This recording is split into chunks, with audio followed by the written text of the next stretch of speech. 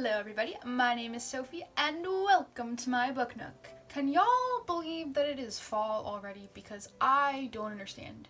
I mean, summer went by like that. Spring took 20 years, summer, just blink of an eye. I don't know how it happened, but it did and here we are. And so, maybe you're like me and you're like, oh, it's a fall, it's time for cozy things. I've got my cozy sweater, I've been drinking hot cocoa. I'm sorry, I'm not a pumpkin spice girl well. And I've been reading some kind of fluffy, sweet books. one of those, and the one that we are talking about today, is Home for the Holidays by Sara Richardson. I received this book from Forever Publishing. Uh, they sent it to me to read and review. I read it. Time to review it. That's what we're doing right now. So uh, this book already came out. It came out on September 22nd.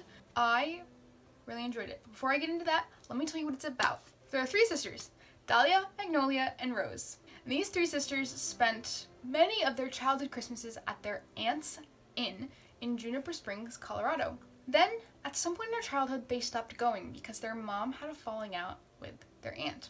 That was like 18 years ago. And so it's kind of surprising to these girls when they each get a letter from their aunt asking them to come visit Juniper Springs for one last Christmas. Now, it's not exactly easy to just pack up everything and go to Colorado, especially for these three women. They each are going through their own difficulties. Dahlia's been through a divorce, and she has two young kids, and her ex isn't making things exactly easy, so she really could use the support of her sisters this Christmas. Marigold is trying to have a baby, and it hasn't been easy. She's been struggling with infertility and she's been keeping it a secret for a long time. And she needs her sisters too, and maybe a Christmas miracle. And then there's Rose, who is engaged to the most eligible bachelor in Georgia, except his mom is a real pain. And Rose doesn't know if she can really deal with that, so she needs her sisters too.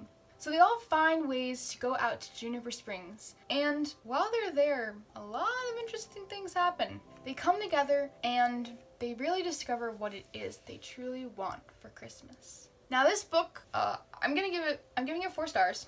It reads like a Hallmark movie, and that could be a bad thing depending on how you feel about Hallmark movies. Usually Hallmark movies are, they're sweet, they're, they're cozy, they're warm. They're usually a little cliche. a little predictable, all that kind of things. I will say that I feel like this is more entertaining than a Hallmark movie. It reads like a Hallmark movie, but like a really entertaining Hallmark movie. I really did enjoy it. I loved the sisterly bond between these three women. I love that it is multiple perspective. We see each of their perspectives of Dahlia, Marigold, and Rose. I like that it's a story that kind of tackles some bigger issues like Marigold's infertility.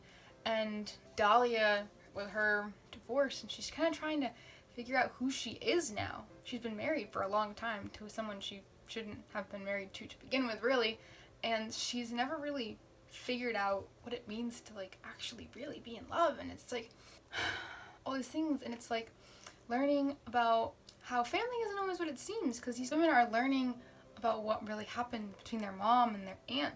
And so it's it's kind of about realizing your past and coming to terms with what happened before and moving on to the future. And it's a really sweet story. And it's heartwarming and it's fun and I really enjoyed it. Even though it's not the typical kind of book I read. I don't usually read holiday books. Maybe I should read more holiday books. Because it was fun and it was entertaining and I felt like I could relate to all of the characters pretty well. Like I have a sister so I can relate to that. Uh, I definitely could relate to Dahlia. There's one page in this book it like starts at one of, with one of Dahlia's chapters and it like talks about her like making tons of spreadsheets and y'all know me uh, I'm a spreadsheet queen. I do that that's who I am. I make spreadsheets for all kinds of things. Like Marigold she's a baker. I love to bake. Don't want to be a baker but I love to bake.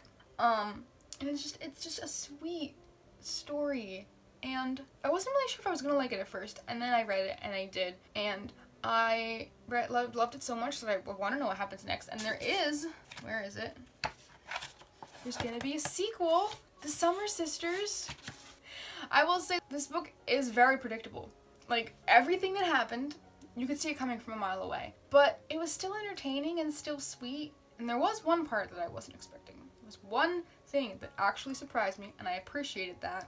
But it is very predictable, and yet it's still very entertaining and still very enjoyable. And if you're looking for a sweet, fun, happy ending Christmas holiday book, Home for the Holidays is definitely for you. If you're looking for a book with sisters, with multiple perspectives, if you're looking for just a sweet, fun love story, it, it, this is this is the one. This is the book. I would highly recommend picking it up whether this fall or this holiday season. If you like a good Hallmark movie, you'll enjoy Home for the Holidays. Guarantee. So check it out. It is out now. I will put links in the description box for where you can find the book, where you could buy the book. And remember, if you can't buy it, request it from your library. Even if your library doesn't have it, see if they'll buy it because, you know, libraries help authors too because the more libraries that are buying books, it's still book sales. It's still good. and I say that as somebody who works at a library. So let me know what you thought of this video. Let me know what you thought of this review. Let me know if you are interested in this book and also tell me your other holiday book that you love because I probably should read some more of these. So I'm, I'm interested. Tell me. Tell me what your favorite holiday book is. If you like this video, please give it a thumbs up. If you like listening to me talk about books, please subscribe to this channel because that's what I do. And if you aren't already, please follow me on Twitter at Sophie's Book Nook. In the event that I have to mark a video made for kids, you will need to be following me on there to be sure that you know that I made a video. And I think that is it, so I will see you guys next time.